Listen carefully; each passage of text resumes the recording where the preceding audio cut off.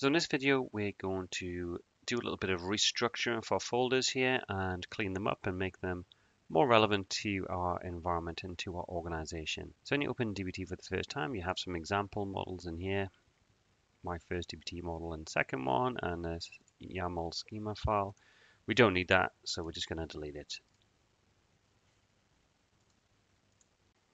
And so now we're going to create two new folders within the models directory. One's going to be called staging and one is going to be called marts. So this setup's going to be just a quite a simple two-tier architecture where we've got staging, where we land and rest our raw data, and then marts, where we're formatting and reorganizing data and applying some transformations and business logic to make those more accessible and user-friendly for the downstream data consumers. And so following DBT's best practice guidelines, one way they recommend to organize your staging area is to break it down into data sources. So we're going to create a folder called Jaffle Shop and click create. Now if you remember in our staging area, our staging models, stage customer and stage orders, they're all coming from Jaffle Shop. We're actually going to copy that out because now we need to move these staging models into our Jaffle shop folder. To do that, we actually got to rename the models, so it's not dead straightforward. And we've got staging Jaffle shop. So you just apply the fully qualified name, click save, and it moves it then into that area, into that folder. We'll do the same again by renaming the stage orders model. So we've got staging, Jaffle Shop, stage orders, click save. And then you can see it's moved those files into that folder structure. We've moved our staging models into our staging Jaffle Shop folder, but what about our DIM customers model? So what's quite common to see in enterprise class implementation of DBT is within the Mart folder, you'll probably have domain areas within the business or subject areas such as finance, marketing, sales, etc. In this case, we've got a, a common dimension, uh, DIM customers that will be used across our uh, business. So in this case, within the marts folder, we're going to create a new folder and we're going to just call it core. Click create. And then we're going to move our DIM customers model in exactly the same way we moved our staging models by renaming it and call it models marts slash core DIM customers and that will move into the correct location. And so if you remember in our previous video when we were configuring the materialization to tell DBT to actually materialize DIM customers as a table, we put this config block in here. Now what we want to do at this stage, we're going to actually remove that because we want to apply this configuration at the folder level, at this core folder level. So how we do that is first we're going to remove and cut the config block out of the DIM customers model. Tidy that up and just click save. We're then going to go down to the DBT project YAML file and we're going to tidy this up a bit. We're going to give it a, a name, first of all. And in my case, you can see it's currently called Mastering Snowflake from a previous iteration. I'm just going to call it Jaffle Shop. Next, I'm going to scroll down to our model section. And I'm going to replace my underscore new project with Jaffle Shop for the name. And you can see we've got an example piece of configuration here. We're just going to get rid of that. We don't need that anymore. Now what we want to do is just reference the file structure we've just created on. So we're going to type in marts and core. And so now we're working at the core folder level. So any configuration we place in here is going to apply to that folder. So we're going to type in plus materialized and table because we want everything to be materialized as a table. Every model that we place within the core folder to automatically be materialized as a table. And that's exactly what we're telling DBT to do here. And next we're going to move on to the staging folder. And in this case, we want everything to be materialized as a view.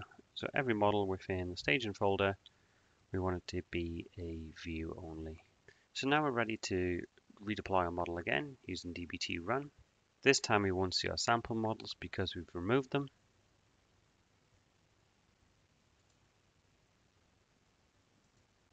So we've only got three models to run, our two staging models, our dimension customers, and you can see all three have now passed. Now let's just check the details of the logs to make sure our configuration worked as expected. So we can see stage customers a view, stage orders is also a view. And let's just check our dim customers now into the details to make sure it got created as a table, which it did. So our changes uh, to our folder structure, as well as moving our configuration and applying at the folder level within the DBT project YAML file makes things a lot easier, more efficient. Obviously, when you're dealing with a large number of models, it's really important that you get this foundation right from the outset. Now we've reorganized our folder structure, moved our configuration into our DBT project YAML file for the materialization piece. There's one more thing I'd like to do as part of this video, and we're just going to add a fact orders model into DBT. Now you might remember a few weeks ago we had a video regarding configuring DBT for Snowflake and we imported some um, data from a public Amazon S3 bucket. If you haven't done that yet, to bring this data set into Snowflake because we're going to use a uh, Stripe payment table, which I'll show you in a second. I'll put the card in the top corner now so you can go back and uh, just pick up the code and see what we did there. So you can also load that data into Snowflake so you, you can you can follow along with the demo yourself as well. So please do that if you haven't done already and then come back to this section of the video and we can we can continue from this point on.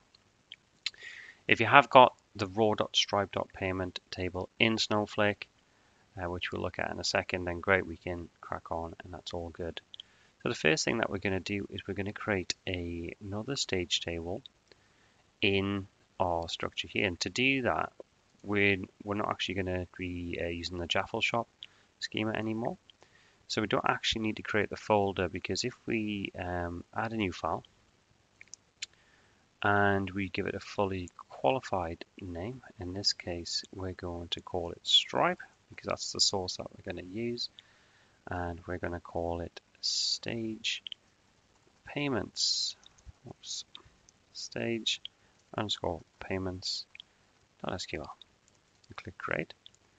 And in doing so, you'll see that DBT automatically creates that folder as part of the uh, fully qualified name we'll just give it if that folder didn't exist already. So just a, a little bit of a, a little quick hint there to help you create those folders. Now we're going to head over to Snowflake and we're just going to look at the table in the raw database in the Stripe schema and here it is called payment. So let's just have a little look at this table. And you can see the data here. We've got a, a key order ID, uh, the different payment methods, if it was a success or failure, the amount it was for, and when it was created. So I'm just going to quickly put together a query, which I'll also share with you in the comments of this uh, video that we can use for uh, our DBT model that we've just created. So there you go, I've just really quickly reorganized that query to select all of the key fields from the payment table and just alias the CTE as payments. We're going to copy that out and we're going to flick back to DBT and add that to our model next. Back into DBT, we'll paste our SQL statement, which we've just confirmed runs in Snowflake. So there's our stage payment model within DBT ready to go. Now we're going to add a fact orders model to our project in DBT and it's going to go into the marts core directory. So a new file fact orders.sql and we'll create that Okay, so here's my SQL that I've written to create the fact orders table. You can see I'm referencing uh, the orders stage as well as my new payments stage using the reference and the modularity that were introduced in one of our previous videos. I'm then selecting the order ID, payment ID and the amount and joining those together to create my basic fact orders table. Now notice when I've tried to run this initially it gives me an error because it tells me my stage payment um, view or table or database object, depending on how I've materialized it, doesn't uh, doesn't exist or not authorized. That's because I haven't actually deployed that stage payment model to the database yet. So what I need to do is go to dbt run, use the slash m switch again to uh, give it my model name so I can target a particular model and you can see then a specified stage payment. It's picked up one model and it's created my view. Now I'm able to execute my fact orders model within DBT to check it all comes back as I anticipate and it does. So now I can run the fact orders model on its own and deploy the object to Snowflake. There's my one model queued and you can see it's passed. You can also see it's created and materialized a table because I've placed it in the folder which I've told DBT everything in that folder created as a table and materialize it um, as a table, not as a view. And so that looks all good. So now we've created our fact orders table and deployed that to Snowflake as long as for stage payment table as well. So we went through quite a lot in this video. It does seem quite basic, but it only is once you know exactly what you're doing. We've restructured our folders.